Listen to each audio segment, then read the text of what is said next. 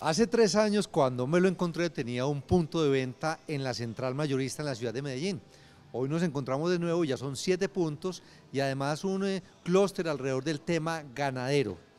Qué bueno tener con nosotros aquí en negocios a Carlos Restrepo, emprendedor, fundador de Más Finca. Carlos, bienvenido a nuestro programa y qué rico reencontrarnos. Hombre Juan, muchísimas gracias eh, por esta invitación. Ya hace tres años estuvimos eh, grabando, teníamos un punto de venta en la central mayorista, ya hoy son siete puntos de venta, hemos ido avanzando. Carlos, yo creo que es muy importante para los emprendedores de Iberoamérica que usted nos cuente cómo ha sido ese crecimiento, porque estoy seguro que hay muchas personas en diferentes países que tienen un punto de venta y dice, bueno, ¿será que crezco? ¿Será que no crezco? ¿Creo nuevos puntos de venta? Si lo hago, ¿cómo lo hago? Entonces vamos a aprovechar que usted está acá, un empresario del sector ganadero, pero que además tiene el tema de restaurantes y de agropuntos. Bueno, yo creo que lo que nos, eh, nos ha llevado mucho al, desarrollo y, a abrir más puntos de venta y abrir la comercialización de más finca, el crecimiento, es el auge que hemos generado con la carne. Y, parte de ese auge pues es la estandarización, la, la, estructuración y la organización que hoy tenemos en la empresa. Hemos trabajado todos estos últimos años en ello y hemos participado en ferias con el ganado y hemos quedado campeones. Venimos trabajando fuertemente en, que la gente conozca más de la carne, en preparar una mejor carne, un mejor ganado para la gente y eso nos ha llevado a que hemos tenido una acogida grandísima y, y eso nos ha llevado al desarrollo de más puntos de venta. Carlos, justamente hoy estamos grabando aquí en el punto, en el Más Finca de San Lucas en Medellín, pero también uno ve que está obviamente el de Central Mayorista, que es el original, el de Más Finca en Viva Las Palmas, en fin. Ese crecimiento en cuanto a recursos, o sea, ¿cómo lo hacen? Uno podría decir, hay uno que le va yendo muy bien y de ahí voy sacando para crecer los otros, o hay también apalancamiento financiero de alguna manera.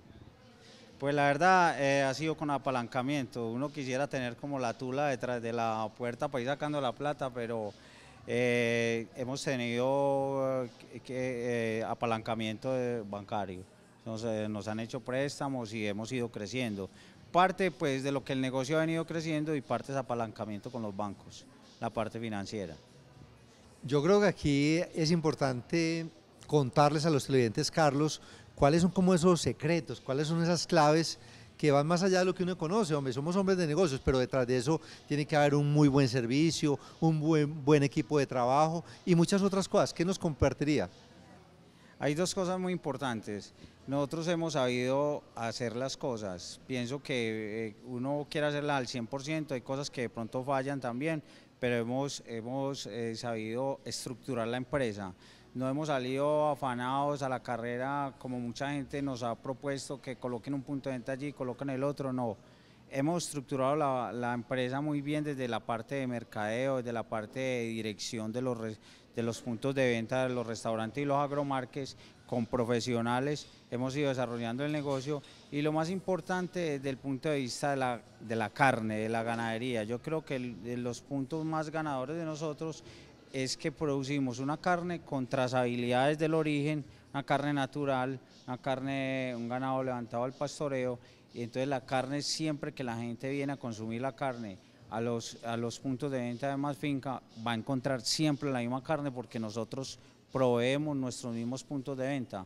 Ese es como el, digamos, como el punto clave de más finca, que siempre va a encontrar una carne de calidad del origen que nace el ganado, luego con un tratamiento, eh, luego con un sacrificio, luego con, una, eh, con un corte, luego con un empaque y luego le hacemos todo un programa de maduración, el cual ya, llega a la, ya la carne llega a la mesa con todo un proceso de estandarización que siempre va a ser la misma. Entonces yo creo que ese es el punto como más clave de lo que hoy generamos nosotros en Más Finca.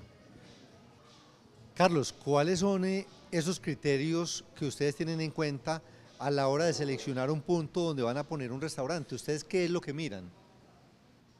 Bueno, nosotros hemos ido estudiando las, hemos ido estudiando, hacemos un estudio de mercadeo previo, hemos hecho unos estudios de las zonas, los crecimientos y los targets, digamos, de,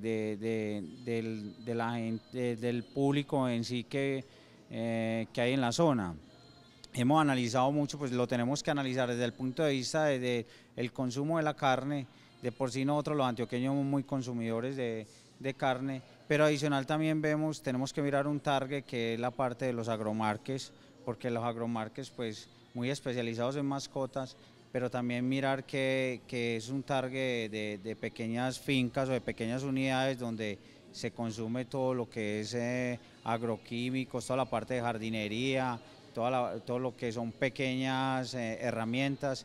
Entonces ahí tenemos que pensar, siempre pensamos en la parte del consumidor de la carne, el buen consumidor de la carne, y pensamos también en el buen consumidor de lo que es la parte de los agromarques, los animales en sí en general. Carlos, uno podría pensar que la carne, pues es la carne, uno podría decir de alguna manera que es un commodity. ¿Cómo diferenciar eh, la carne? ¿Qué tipo de productos sacan ustedes a partir de ahí? Bueno, nosotros eh, a partir de la carne tenemos varios derivados, como son, nosotros sacamos una hamburguesa que es una locura, se ha ido, a medida que la gente ha ido conociendo este producto, se ha vuelto una cosa eh, loca, la gente está consumiendo ahora la carne de hamburguesa de nosotros eh, muchísimo. Tenemos también otros derivados que es un chorizo tipo argentino, es 90% orangus, 10% cerdo, tiene jalapeño y jerez que es, es excelente tenemos también morcilla, em, tenemos varios derivados de ahí de la carne que estamos sacando y estamos implementando toda una parte de, que la carne sea, la, carne de nosotros, perdón, es toda empacada al vacío, es libre de contaminaciones, cruzadas, todas empacadas al vacío. Nosotros no vendemos el pedacito, vendemos solo los paquetes. Entonces de ahí hemos sacado o, hemos eh, convertido en el mercado, hemos cambiado el pensamiento de la gente que llega a las carnicerías a ver la carne tirada, a ver la carne eh, con, con, contaminaciones. Hemos ido cambiando la forma de que la gente pueda mercar la carne en una, de una forma que sea más higiénica y que, se, y que tenga una maduración muy diferente a lo que se vive hoy en el mercado. Carlos, ¿y cuáles son esas estrategias que utilizan de mercadeo pues, para darse a conocer, para que cada día más gente venga a estos puntos de venta? Hemos ido trabajando muy fuertemente con las redes sociales. Las redes sociales le hemos invertido bastante, pero adicional hemos tenido también unos validadores eh, muy grandes, eh, unos validadores eh, en el mercado hemos trabajado con asesores, hemos trabajado con universidades, con la Universidad de AFI con, y con otros asesores en el mercado y hemos ido validando la marca. La estrategia de nosotros es siempre trabajar con los mejores, asesorarnos bien en esa parte y le hemos apostado mucho a las redes sociales, hemos tenido una buena respuesta y parte de eso también son los eventos que nosotros generamos eh, mensualmente estamos generando cada ocho días en el mes, estamos generando un, eventos en los agromarques, generamos eventos, charlas de carnes eh, combinadas con, con o maridadas con vinos, con cervezas, con tequilas, le enseñamos a la gente cómo es la producción de la carne, cómo se debe hacer la carne, y, hacemos unas alianzas estratégicas con, empresas pues grandes del sector en esa parte. Entonces yo creo que parte de la estrategia ha sido esa, es, es rodearnos de gente, de empresas buenas, de empresas líderes y, y nos hemos ido de la mano y yo creo que hemos sido ganadores con eso. Carlos, ya son ocho años en el camino de hacer emprendimiento. ¿Qué grandes enseñanzas, aprendizajes eh, ha tenido que comparta hoy con nuestros televidentes que nos ven en diferentes países de Iberoamérica? Bueno, han sido ocho años eh, eh, muy, muy gratos en el aprendizaje porque pues la verdad estar trabajando para una empresa, pues yo trabajaba para multinacionales grandes en el país anteriormente, pero hacer empresa muy grato eh, el, uno ver cómo, cómo, cómo, su empresa va creciendo, va cogiendo uh, fuerza en el mercado, la marca la va conociendo eh, muchísima gente, eh, y que es muy grato que, tanta gente que hoy tenemos en la empresa viva, viva, hoy, de, viva hoy de la empresa, pueda, pueda levantar sus familias, pueda, pueda hacer pueda, hacer, eh, pueda ir creciendo perdón, con sus familias. Entonces, eso es muy grato uno ver como, como alrededor, no solamente lo que son los socios de más fincas, sino que alrededor de nosotros hay más de 300, 300 hogares creciendo con nosotros. Entonces, eso es eh, da una satisfacción ver cómo, cómo, cómo crece la gente con uno. Carlos, de verdad que muchísimas gracias por compartir con nosotros, con los televidentes, este tema tan interesante de cómo crecer, pero de manera segura y sostenible. Bueno, no, muchísimas gracias Juan por volverme a invitar, pues eh, espero prontamente volver a estar en el programa y la verdad que eh, pues eh, a los televidentes ya tenemos otros dos puntos de venta acá en San Lucas, en Viva Palmas, tenemos un agro pequeñito en Viva Laureles y la idea hacia el 2018 es estar en las principales ciudades del país. Próximamente para este año tenemos proyectado estar en, con el restaurante en Laureles.